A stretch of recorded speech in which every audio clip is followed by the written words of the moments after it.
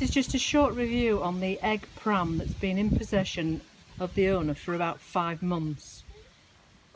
As you can see, there is a distinct different coloration.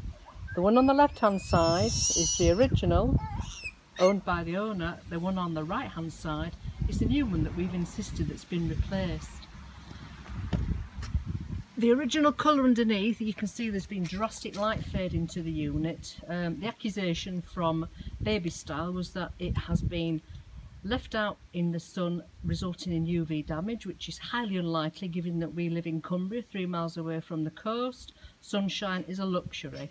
Or the other accusation was that the unit's been taken on holiday. Doubting that because the owner actually doesn't hold a valid UK passport so as you can see if you want your pram to look like this after five months buy one from Baby Style completely two different colours as you can see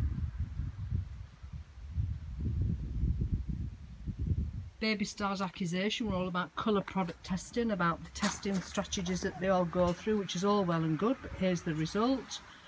Refused to do anything about the returns, wanting to charge us to replace the bib and the hood. But as you can see, the actual thing is two different colours from the base and the unit itself on the top with the hood and the bib. So we're not sure what we've got.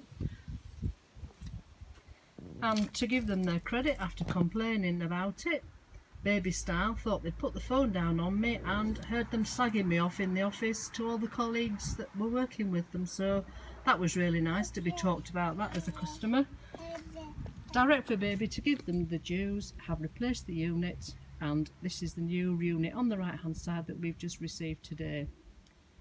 If you want a good looking pram after five months, don't bother with an egg.